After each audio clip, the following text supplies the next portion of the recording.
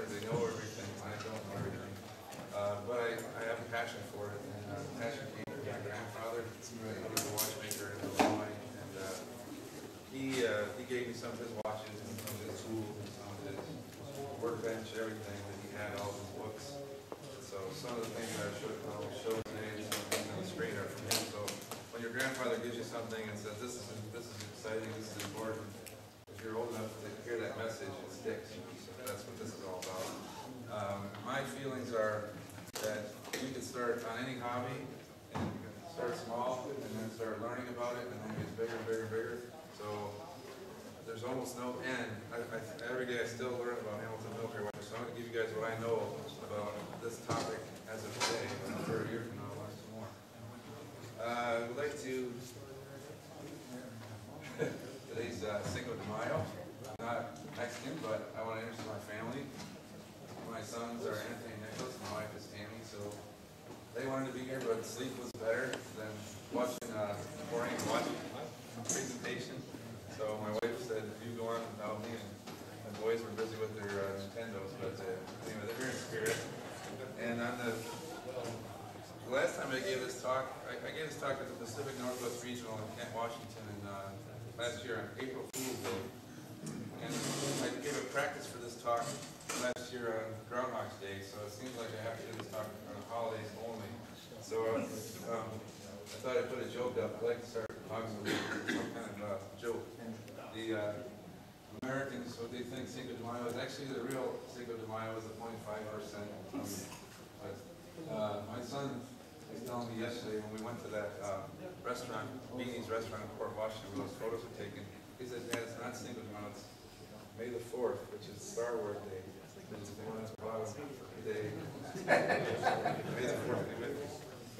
And since we're here at our horology meeting, I thought I would tie it into clocks and watches so you can actually go on eBay and buy a de Mayo clock or watch.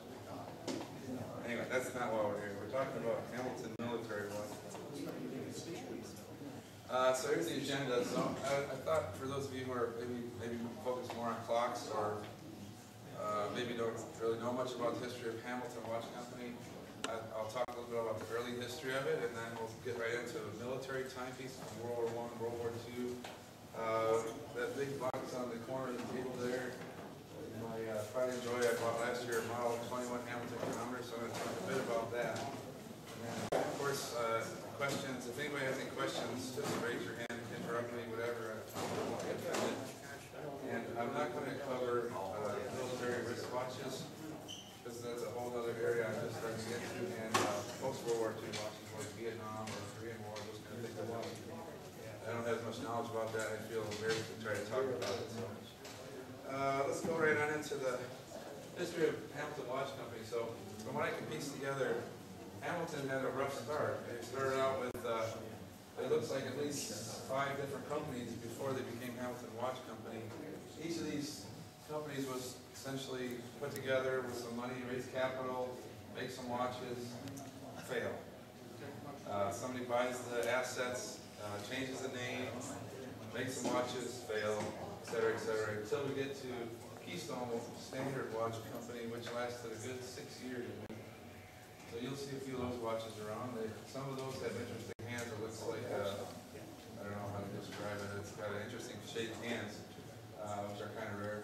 Then come along to 1892, and uh, the Keystone Watch Company assets and the Aurora, Illinois Watch Company assets were combined to make Hamilton. So, since I'm from Illinois originally, even though my wife is from Cedarburg, uh, my, my roots are in Illinois, so anything related to Illinois Watch Company or Illinois uh, companies in general, I, so I, I like to think It's mostly uh, it's the Pennsylvania watch company.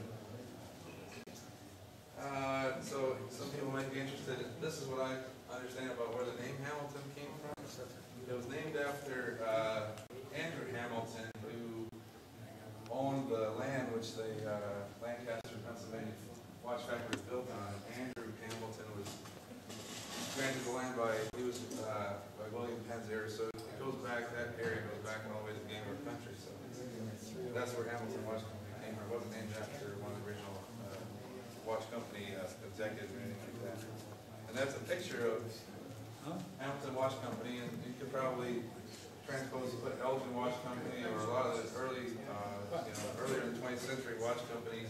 They made these magnificent buildings, they had two or three thousand, four thousand people working in them, and it's the golden era of American manufacturing, when everybody had a job, and and just, kind of miss that, that whole, that makes me nostalgic for that, you know, I work in a pharmaceutical business, and most of those jobs are going overseas too, so you could probably pick any industry in Wisconsin, a lot of it's going overseas, and we don't make, uh, American pocket watches in America anymore, so, uh, this is kind of a, basically everything here is old news. So, Hamilton is, um, why did they survive when all those other precursors to Hamilton failed and went into receivership? And I think it's because it was a, it was a uh, combination of effects. The other companies, they underestimated how much money it was gonna cost to make pocket watches. And the cases, the dials, the movements, the screws, the machines, all that together. They never, they never could estimate properly how much capital they needed, so they would always go bankrupt. And then there was this Ohio train wreck of eighteen ninety-one, which precipitated a lot of the, uh, railroad standards, uh, and testing. So, you see at the bottom, uh, Hamilton made their model the Railroad Timekeeper of America. So they they tied themselves to the railroad standards and the high-quality watches. And they partnered up with, uh, Ball to make know, Hamilton Ball watches. And so that, that kept them around where other companies failed. And their, their emphasis was on, you know, making very high-quality watches. So anybody who's working on pocket watches will know it's a big part of wanting to watch. They're pretty nice to work with. So that's kind of some early history. Um, just a flavor of the background. Uh, some early Hamilton milestones. The first watch they made, an 18 size watch. There's a picture of right there, of Hamilton serial number one and number two, and I think those are in the NAWCC Museum in Columbia, Pennsylvania. Uh, they got into 16 size watches not too far after that, and then, you know, around World War One, they started making wristwatch size movements. And, uh, tying into military watches, they made the thir- their thirty-six size chronometer watch in nineteen eighty, so. We'll get into, uh, World War One next, but just kind of some milestones, I, uh, I'm not sure what, those watches would ever come to light, how much they would be worth. I guess they were, about ninety, they were sold. Okay, so World War One timepieces. There isn't a whole lot of story here. Uh, I have a few slides, a few different examples. One of them is a, a Hamilton Grade 974, which is a 17 jewel watch. You don't see uh, any markings on it except for on the back of the case. So somebody in the Navy needed a, a watch at that time, and uh, they, they inscribed it with this U.S. Navy symbol. Into an sea shipping. And they look like uh, standard Hamilton 974 watches, so nothing real special there. Uh, Just a 17 jewel moving highly Damascene. Uh, But you'll see these occasionally, and uh, I've seen enough of them to realize it's not just a marriage to put together watches. it's actually real. Uh, Not much there. The one I really get excited about is uh, Hamilton 992. Grade 992 was made in large numbers for a long time.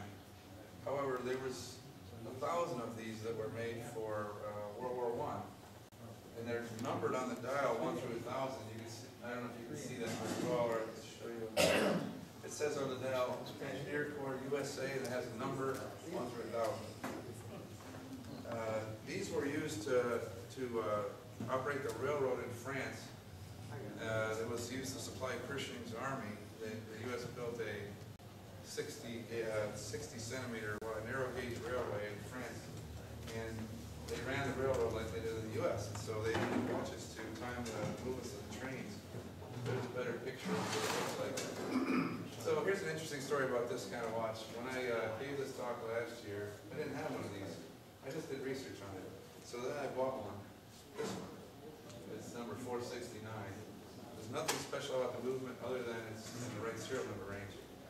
But when I was doing my, my uh, research on this, I found, I, I started looking for how many examples I could find. And uh, this number's grown since a year ago, but I found thirty-six, at the time I found about thirty out of thousand, which is about three percent. And so, you know, that's a pretty rare watch, and I thought, well, I'm gonna buy one, so I bought this guy right here, for in the, bought this guy right here, for in the seven hundred dollar range, seven hundred and fifty, I think, something like that. Then I posted this online, the serial number database, and now there's one on eBay referencing the serial number database for two thousand four hundred and ninety-nine dollars, saying these are ultra rare. So here's my advice, do the research, buy the watch before you post the data online, because, serial number on those, is it the standard Hamilton stuff? yeah, these are standard, magazine and the movement? As movement serial numbers are listed here, they go, uh, you'll see a few that are in the two million range, but I think there is somebody put the, uh, the, Hamilton, uh, engineer Corps dial on another nine nine two movement. But, uh, if you look at these, there's enough examples in the one point two to one point three million serial number range that you can try to sort out which ones are real, and which ones aren't. Um, there, there's a, an article, uh, in the uh, bulletin here from June of two thousand, or it used to be called the bulletin, uh, that talks about these, I think Edgar Grove, it's, did a nice job on that. So, that's, uh, that's the only watch, there, I found, uh, online this, uh, records department order, these, never mind seven hundred fifty, these were twenty-two dollars back in the day, so they're, they're a pretty good deal compared to today's price. They ordered them, uh, a thousand of them, and they delivered them all between July, and August of two thousand, nineteen eighteen. And, uh, I have an ad, which, I actually have the original ad over there, I bought recently, um, from National Geographic. And, uh, it kind of advertises these watches, although the ad doesn't actually have the engineer Corps dial movement, it just has a picture of a Hamilton nine eight two, but it talks about that the arm, uh, US bought, uh, watches for running the railroads in France. So, what, this is one of the things I wanted to highlight with Hamilton military watches. They're not just neat instruments of time, they're also connected to history, you know, almost every instance you can start digging and find something very interesting about them. Ties back to some kind of war, or some kind of battle, or whatever, shit. That, that makes it really rich in terms of studying and learning about them. Uh, so, moving, my, my, uh, next thing I think is a, yeah, thirty-six size torpedo boat watch. This is, uh, this is what got me started. My grandfather gave me two of these giant watches. They're, they're this big, I'll, I'll show you. So, it looks like a pocket clock almost. But these were used, uh, in World War One and later. Um, and they're, they're a wind indicator, they have a wind indicator dial on them. And they have a sterling silver case crescent. And they have a twenty-one jewel movement that's basically a giant version of the nine nine two. It looks like a scale, like if took, magically scaled up a Hamilton nine nine two. Very similar in the Damascene and everything. But they're rare, there are only nine hundred and seventy of these produced. So I didn't know that when grandpa, grandpa gave me two of them and said, don't sell these ever. I took his advice, I actually sent them to Ed Ueberall and he fixed them for me right after Hurricane Katrina. Now they're working, but what he- what I found at the time is the wind indicator parts were uh, not very, really well made. So a lot of them have the wind indicator dial is, uh, is uh, plugged, and the wind indicator parts are missing. And if you uh, study, study some of the uh, online articles, Mark Whitney would say when they brought those in, they would repair them, and they would pull the wind indicator parts from three or four watches and get them running, so I'm very lucky to find two that actually have that, that piece of the uh, watch working. I had one other one that wasn't working, and the dial was, had a plate over the wind indicator dial. So You'll see them both ways. Uh, They're all sold as gimbal watches uh, through the nineteen forties, so my understanding, if you see some advertising, you'll see them in the nineteen forties. So I think the earlier, earlier ones were in the sterling silver cases, and the later ones, I think, are sold to people have yachts or whatever, they needed to do, you know, navigation, so they them uh, to, to the retail markets. So this is a better, better picture of it. A lot of times you see the dials are refinished. Uh, I think, you know, there's only nine hundred and seventy of them, so, and some of them faded and they got them refinished. Um, I, I, I took my largest eighteen size pocket watch, which is a Elgin in a six ounce silver case, point silver case. And I took a picture next to one of these thirty-six size watches, so just to give you an idea, that, that Elgin is heavy on the pocket, it'll make your pant leg droop. Uh, so that's, uh, it still doesn't compare to this, uh, thirty-six size watch. so they're pretty cool, pretty cool. Um, And this is a- an example of a nineteen forty advertisement showing a gimbal mount, so they're, if you notice, uh, they're, uh, they had a temporary shortage of grade nine seven four, so that, they might have been using some, uh, some of the nine seven fours for the war, for getting ready for the war at that time. Uh, anyway, they have the gimbals, and then, this is, uh, the database that I, uh, I put together on thirty-six sites.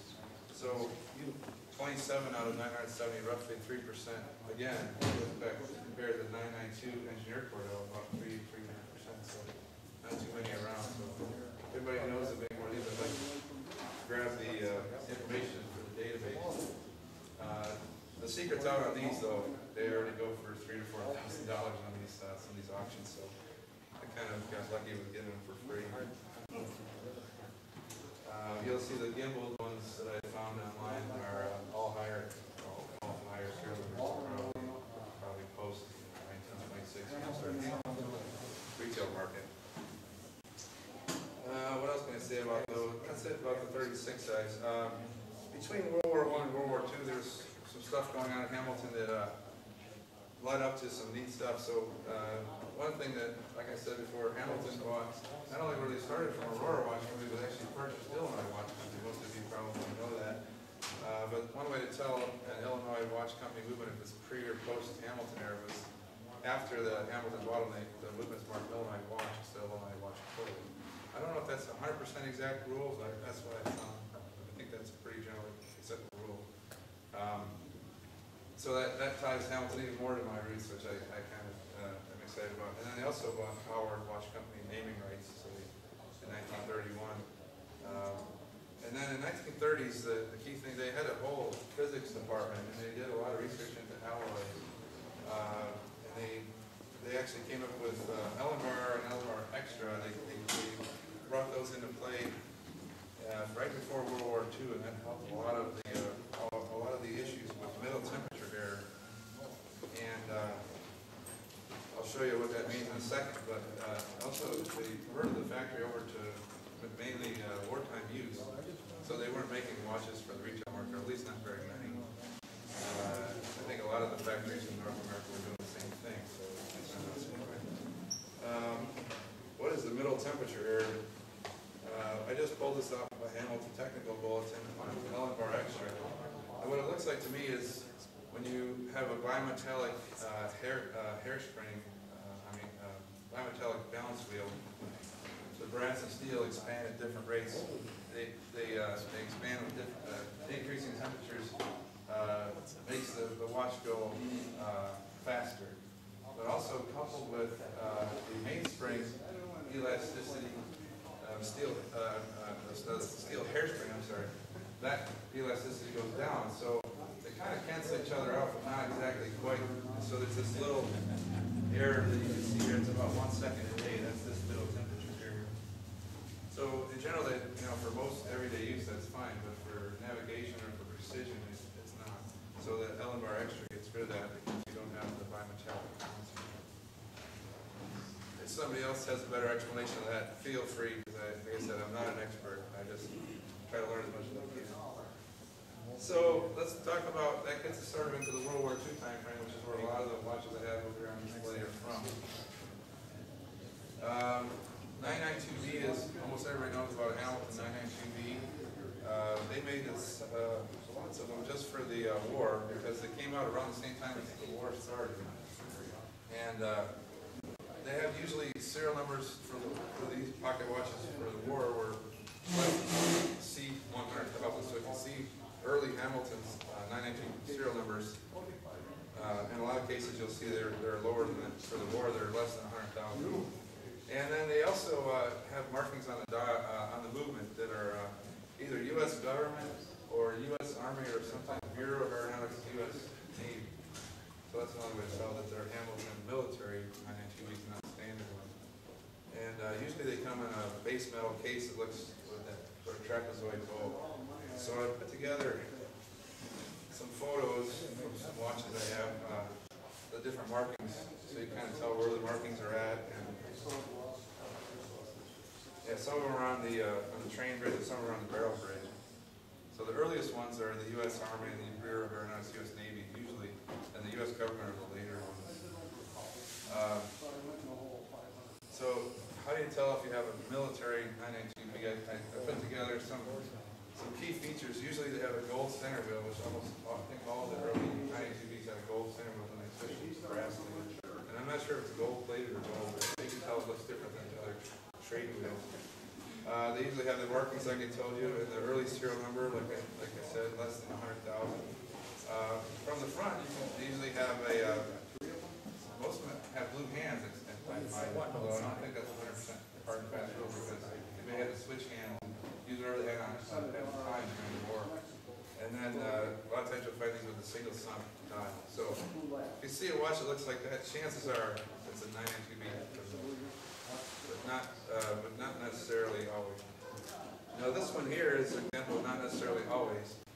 I bought this one recently on eBay, and I wasn't sure if it was fake. I wanted to buy it right away as soon as I saw it, because it looked real. But I had to kind of get confirmation from other people that it was a real Hamilton dial, which says Bureau of Aeronautics, U.S. Navy on the dial, and on the movement, and on the case. And uh, it turns out it is a real one, just not very, not very common, so. That's why I said about it, I learn something new every day on this, on this topic, and you think you know everything, but you don't. So, in this case, uh, I'm glad to add to my collection, and then I- this is another one I added recently that I didn't have, which has the U.S. Army markings on it. That one is, uh, I believe, serial number twelve, C twelve thousand, and this one is serial number, uh, C seven thousand, so like I said, earlier serial numbers will be the the military. So that's Hamilton nine nine two B. Uh, Another cousin of the 992B is a 2974B, which is a 17 jewel watch. So they call that a comparing watch. And again, it has uh, Elinvar extra, the same thing as the 992B. These have interchangeable parts.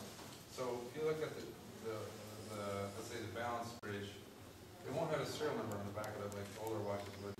Because in theory, you could just swap a balance bridge from any Hamilton 2974B, 992B, 499B, and the watch will work. Uh, so that's kind of that mass produced philosophy. And so I'll show you one in a minute that doesn't have a serial number on it, which is kind of interesting, because I, I, I, there's no serial number anywhere on any plates, which makes it hard to figure out.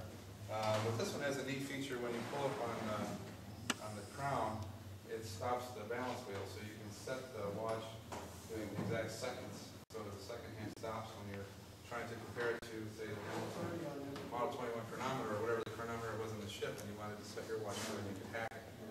And it has a really sophisticated uh, mechanism. It's a little lever that just touches the balance wheel. and stops it. So it works, it works. Um, and these will have U.S. government on movement and various uh, ordnance markings on the cases. And a lot of times you'll see them with uh, baton hands uh, and this kind of a dial, but not always, uh, like I said. Um, And the serial numbers, sometimes you'll see them with, uh, starting with K, and sometimes with two K. So, you there's two different ranges. And these are some examples of some of the ordnance markings on the back of some of the watches I found. They also have a, uh, a cuvette that, uh, you usually can't get out with your fingernail, uh, so if you see a case like that, that's usually a fourteen case. Just kind of giving you guys some, if you see these things, you then you'll know, that's the two nine seven four B instead of the, another. They all have, all these have base metal cases with some kind of nice finish. This is the one I was telling you about before. Uh, no serial number where it should be. It should be in this little slot right here between the bridges. So I took the watch apart and I think of a power loupe as I could find, and there's no indication that the serial number was removed. I mean, you can see the original brush lines from the machining, And, uh, it doesn't have US government markings on it, and it doesn't have that hack spring like I, I said all the other ones do, that makes them happy. Um, but I, I think the, the clue here is that this one is from the US Naval Ordnance Testing Station in California.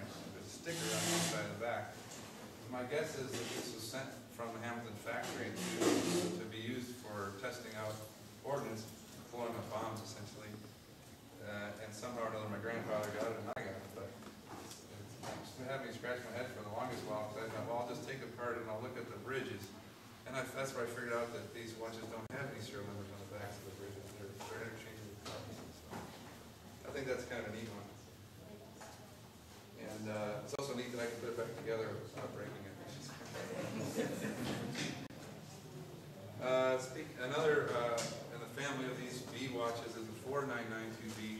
And, uh, this one's basically a twenty-two, twenty-two jewel version of the nine nine two B, and the big difference is it has a twenty-four hour dial. This is really fun to take to work and show people, say, what time do you think it is? And they look at it, and they don't look at the number, they just, like I said, not the right time, yes, it is, it's, it's just that you're using a twelve, hour dial, and this is a twenty-four hour dial, so not very popular with people who aren't in the military. So, uh, because of that, a lot of these watches were converted after the war to twelve hour dial. So, and they put a uh, twelve hour dial on and uh, changed the, uh, the gearing so that they, they keep time twice a day instead of one. Um, These again have the same kind of markings as the uh, 992Bs, the U.S. government, Bureau of Aeronautics, U.S. Navy, U.s. Army, Air Corps, etc. And they have uh, they have generally base metal cases with ordnance markings on the back, although there's some that have 80% uh, silver cases, and you'll see these occasionally in some of the marks. Uh, and uh, those go for a little bit more money. And it has a 24-hour dial with black hands. Um, they made quite a few of these. It must have been a workhorse in the war, 120,000 war efforts. But for World War II, about hundred thousand or so. And uh, most for the Army, some for the Navy. So those of you who were in the, in that war or in the Army or Navy at that time, you know, I salute you. This, uh, this is, uh, this to me is what brings it home, because my, my grandfather on my mom's side was in the, in, in the Army. And, uh, my other grandfather wasn't, but, um, so I love that, that connection to history. Um, these, these watches have the four C serial number, and most of those are up to like hundred or hundred and twenty thousand, but you'll see some that are on upper end of the range that are, uh, four C serial numbers, but they're, uh, nine nine two B. So those are not really related to the military, I think those are leftover plates that are used to make, uh, at the end of the battery run in Hamilton, so you'll see those. Those nine nine two Bs go for some premium too, I don't have one of those. So here's some of the markings that you'll see. I don't have, I, I only have the US government or the none, so I'm on the hunt for the other ones, which is why this makes it a fun hobby. Uh, the US Army Air Corps on the train bridge would be a neat one to have, that's on the upper left, and the Bureau of Aeronautics US Navy, uh, that's the same as my, my nine nine two B, but I'm looking for this example of four nine nine two B, or none, they didn't have any, uh, US government marking. And that's what the dial looks like. Since I just moved here from Canada last year, I have probably uh, more than 20, 24-hour uh, dials, uh, pocket watches. I, I, I kind of collected them when I was up there. I was up there, no big deal. Everybody's got a you know 24-hour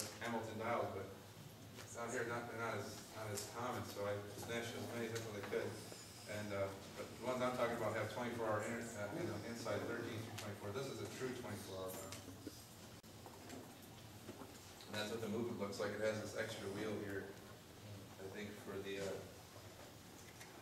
that's what makes it a twenty-two jewel watch, instead of twenty-one jewel. Um, so, some things that go along, so if you collect Hamilton military watches, you have to collect gadgets and gizmos and boxes and everything you can, and advertising, so I have one of these that has the uh, original box outside, well, this is an original box. And then they also came in these metal canisters, I think that was to prevent a magnetic field, either in an airplane or in a submarine or ship from interfering with the timekeeping. So they count these, they have these metal canisters with a, uh, a little lid that swings away so you can see the, uh, you can see it inside without opening it up, the little plastic The interesting thing about this one is, uh, yeah, this was from, this box, carrying case navigational from Tecumseh, Michigan. So I have, have one of those. And then they, uh, they had the official, uh, rubber cushion sheath, and then there's this leather lanyard that came with it, so you can, you can find those, those go for a couple hundred bucks now. So, yeah, everything goes together. And then this is the box, uh, I was telling you for the, uh, the carrying case box. These, uh, boxes add a lot of value to the Hamilton four nine nine two B. They go from, I'd say four hundred to seven hundred bucks. If you add this metal box, it can go up to a thousand or twelve hundred, so, yeah, the whole package. All right, so, what else in World War II? One of my favorites is the Hamilton three nine nine two B, which I didn't know much about until I moved to Canada. But essentially, these are twelve hour versions of the four nine nine two B, so they're made for the British Navy uh, and the Canadian Navy in World War II. And they have a three C serial number, so if you see a one three C serial number, you'll, and, and a three nine nine two B on the movement. So the one at the top is, uh, has a broad arrow on the dial, that's, I think, made for the British uh, Royal Navy. And this one at the bottom is the Canadian version, it has a the twenty-four hour dial, like I was telling you, they're common. Uh, Everybody has one, you know, up in Canada, but around here, there. And uh, one way to tell the two, usually the Canadian ones have an eighty percent silver uh, case with them. So I have an example here you can look at in, in a box from the Esquimalt uh, Naval Base right off the coast of BC, the about third, third owner, I guess. And they had a uh, surplus military sale in the seventies, some guys just went and bought them, and then I bought it from the guy who bought it from him, so. Uh, the price has gone up much since then. Um, Whatever you look up in the book for Hamilton three nine nine two B, if you have that big fat book, double the price usually. It usually goes twice as much as what the book is, because they don't sell very often, so the book doesn't get updated very often, so. You can chase these pretty high, uh, into the two to three thousand dollar range. So here's the one with the, with the wooden box, um, and, uh, the box has on the outside, return to Esquimalt, uh, uh, chronometer department. And you'll see on the movement, it has US government, it doesn't say Canadian uh, government, it's US government, and there's a three nine nine two B. And then, uh, this one is marked on the movement, uh, US Navy Bureau of Ships, and it, but it has a broad arrow here on the bottom right. Uh, And it's broad arrow, so this one would be for the British Navy, uh, Royal Navy. uh, And this one has blue screws on the winding wheel. So, uh, then you'll see these other ones that are kind of interesting, they're called the NATO dial three nine nine two B, so you'll, uh, you might recognize that it has a black small hand for the hours, and it has a red hand for the minutes, and it has, uh, one hundred increments for the seconds. So I found on the NAWCC website, uh, a letter that somebody said, oh, these are from the seventies, so they took the British, uh, Admiral, Admiralty, uh, three nine nine two Bs, and then they put this new dial on there, and you'll see, if if you can see, there's a, there's actually screwed on dials, there's a screw right here and a screw right there, so you might think that makes it look fake, but that's the real one. And they were using it for work studies for timing shipyard workers or something like that in the seventies, so the more appropriate name is a work study dial. And the only reason it's called a NATO dial is because it has a NATO part number assigned to it at the bottom of the page here, so. So again, you just start learning about the history and then start, start, you know, going down these, these paths and it's fascinating. So this would have been after Hamilton left so, so who made it? They just took the ones left over from, that they had and they just converted them to this dial. So, I mean, This is Okay, so it's still a Hamilton movement? Yeah, it's still a Hamilton movement. I think these were made, I didn't say when they were made till, but from World War II, probably up to the fifties, so they had, probably got surplus, uh, you know, Navy yards and stuff, they had a lot of surplus uh, movements and whatnot in the cases, and they put this new dial on new hands, so it's kind of neat. Because it got, got confusing to me, because I, when you hear about NATO dial, these watches are made for World War II, and NATO was after World War II, so what's the deal? But no, I kind of, I, I was happy to be able to dig into our NOC website enough to find, uh, I put the reference at the bottom. Uh, Most of the things I'm finding are from eBay, or, you know, a lot of the pictures are from my own collection or from other online sites, but this one I don't, I forget where I got it from, because it takes a while to dig and find. Uh, another one that I would have on my wish list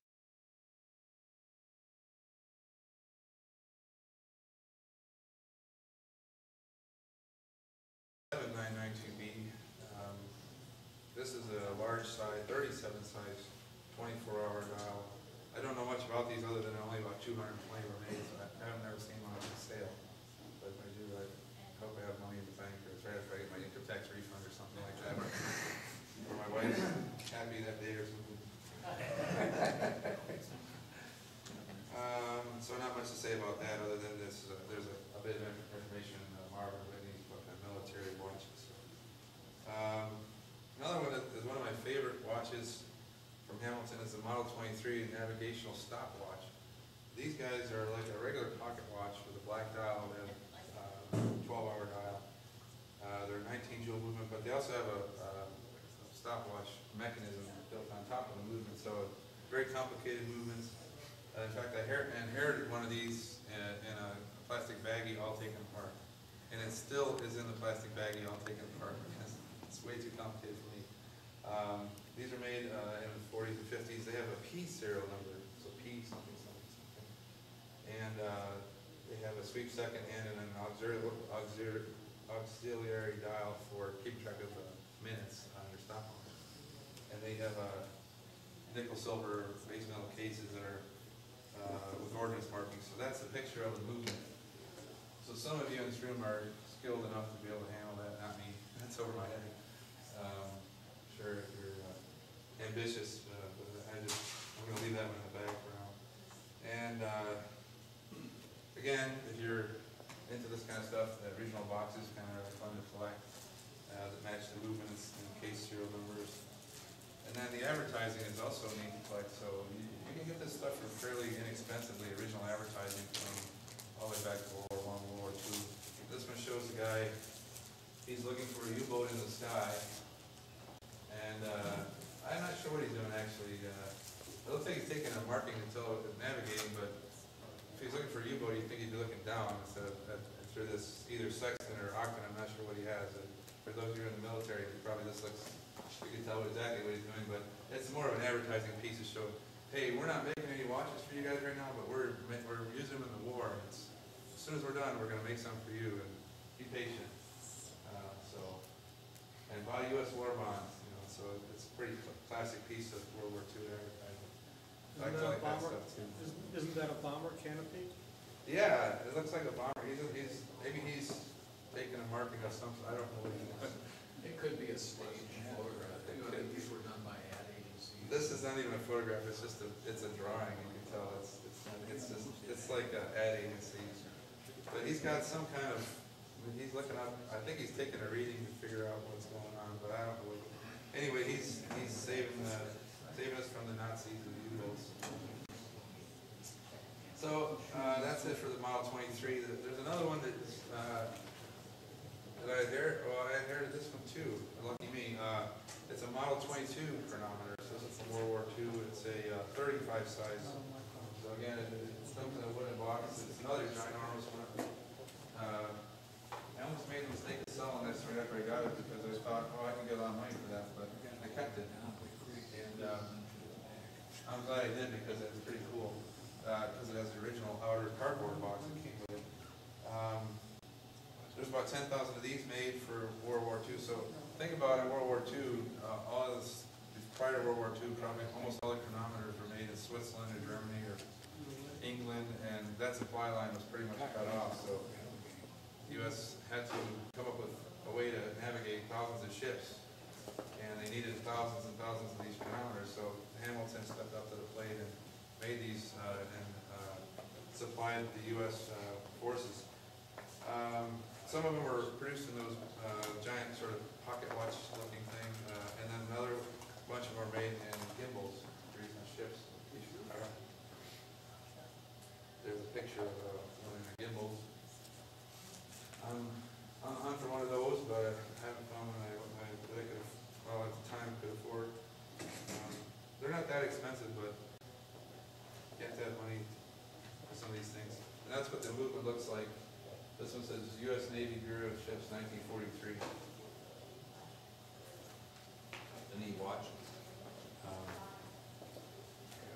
They come in these wooden boxes like that, and they have ordnance markings on the back, like most of the military. And this is the outer cardboard box that, so my grandpa told me a story about this, and he said that he saw an ad in the Chicago Tribune for military surplus watches for sale. So evidently he made a beeline for the place and got there before they opened and knocked on the door and said, I'm here for the military surplus watches, we have one left.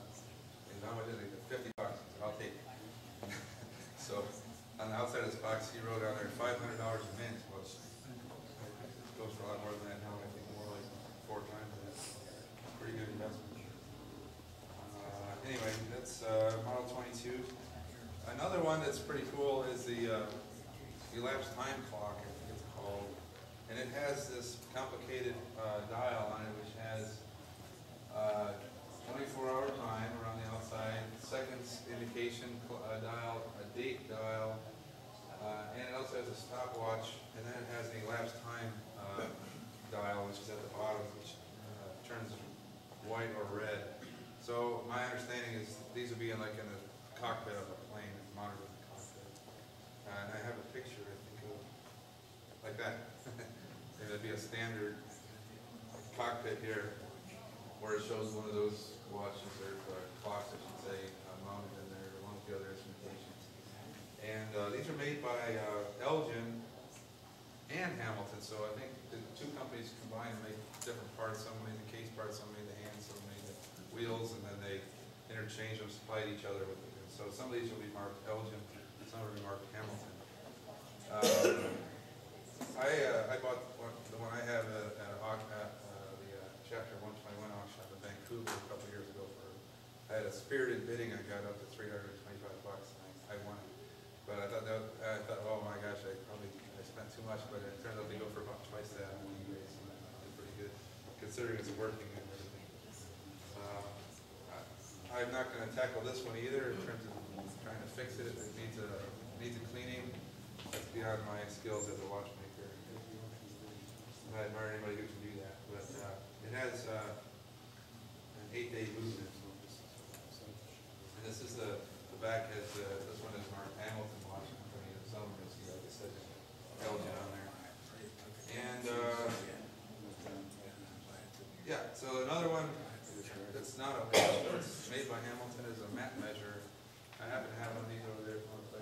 It's, uh, used to trace, my understanding is they, because the maps and, uh, back then were, were highly accurate, but now all the roads are straight, so if you wanna figure out how long it's gonna take you to get from point A to point B, didn't have Google Maps to go in and say, or GPS, you had to take this little dual and trace along the map, and then it would convert how many inches, tell you how many inches you ran along the map, and then use the map code to figure out, or the key to figure out how many miles it would be, or it has an interdial centimeters, so you use either one, so uh, It's a pretty cool little uh, device for World War II, and a lot of them are made, I- not too many of them, you don't see too many of them. uh,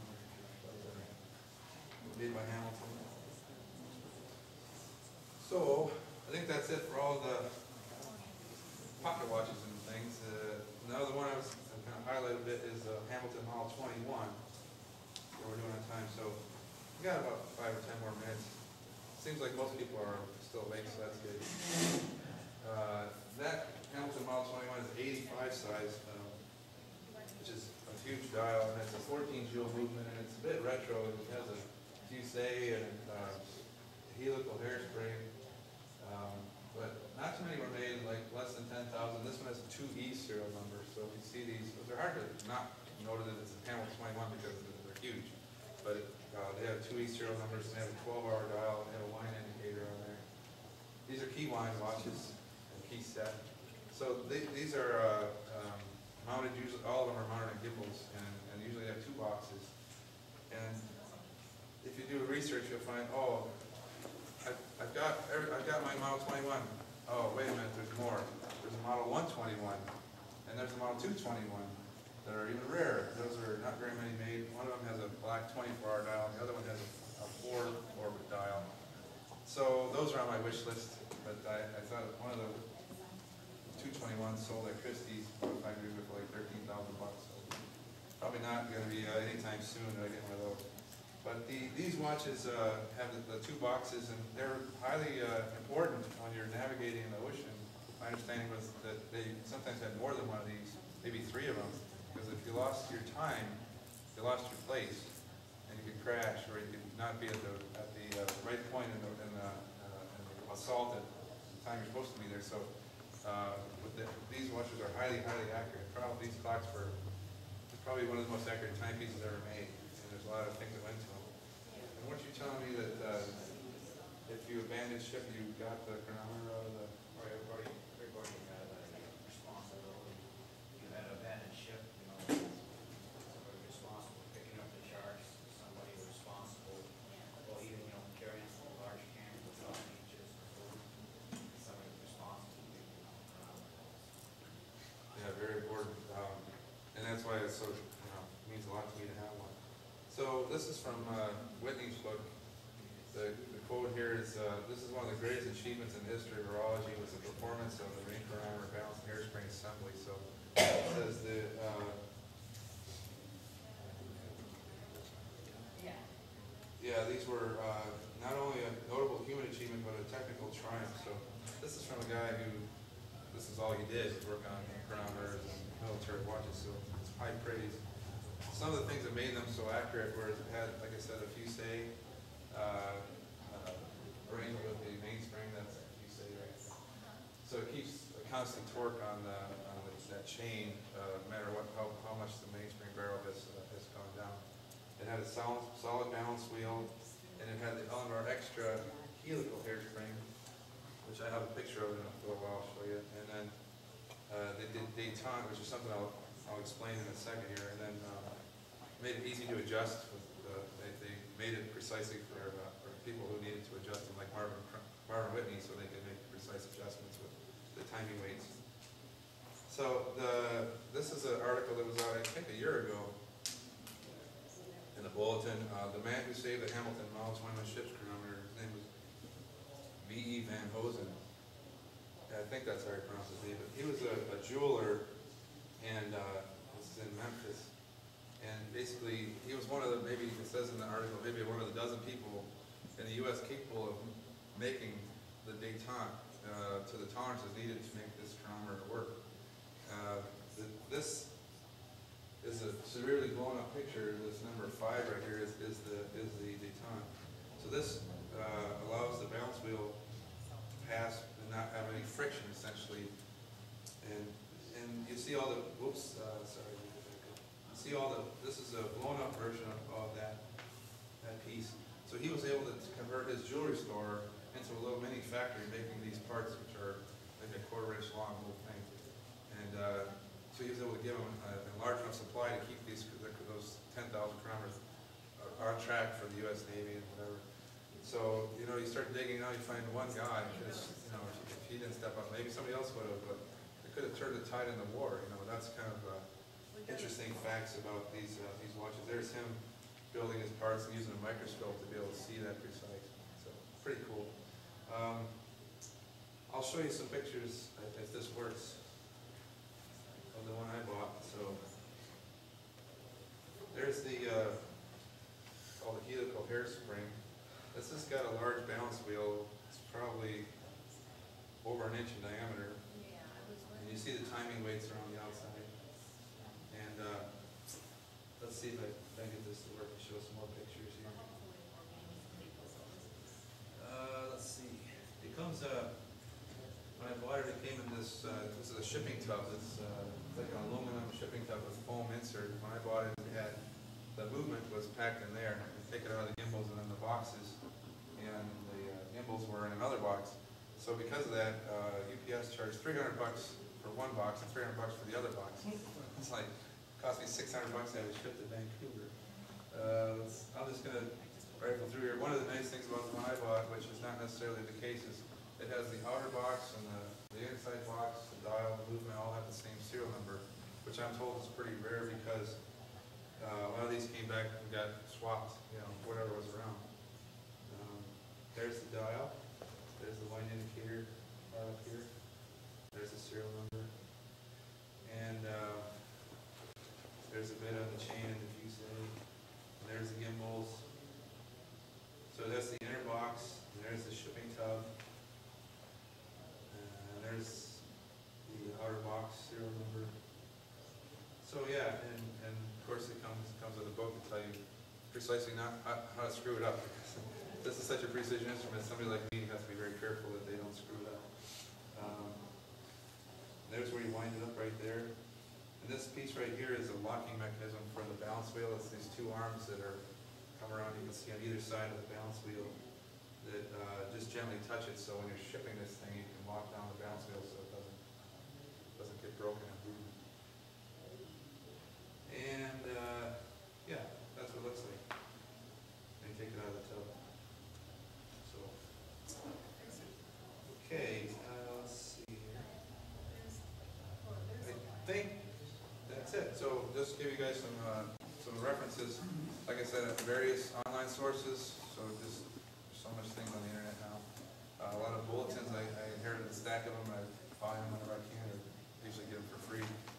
Uh, in fact, all the bulletins are now online, uh, so you can go, go back all the way to the nineteen forties, and they're all scanned. And a couple of good books, uh, Time for America, which was written in nineteen nineties, the hundred year anniversary of Hamilton, that book there, the military watches, military Whitney. That's it. Any questions?